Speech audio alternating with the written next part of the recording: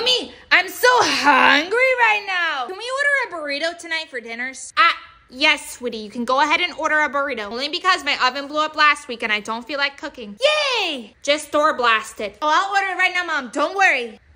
Done. We're late delivery. I think it's here. Wow, that was pretty quick. Yay! My burrito! Mom, my burrito's here! Let me see the package, sweetie. This doesn't seem right. What kind of to-go box is this? Ah, great. They messed up our order. They gave us a blanket. You know what? I'm calling them right now and I'm talking to the manager. Where's my phone? No, no, no. No, Mom, don't return it. It is the burrito. The order's wrong. It's a blanket. It's not food. Look, look, let me show you. Mommy, lit. I'm a burrito. Well, I guess I am cooking crock loaf tonight. I'm a burrito. Yeah.